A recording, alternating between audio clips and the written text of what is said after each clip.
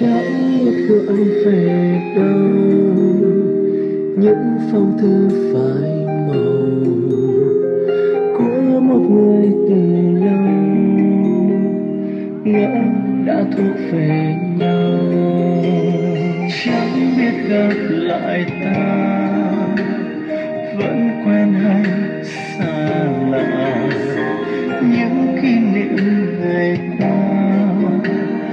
Chẳng biết con nhạt nhòa.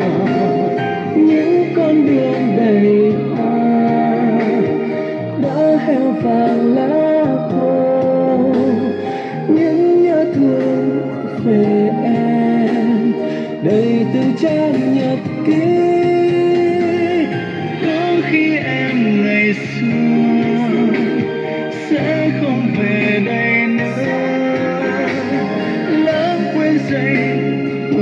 xóa xanh cả bờ tương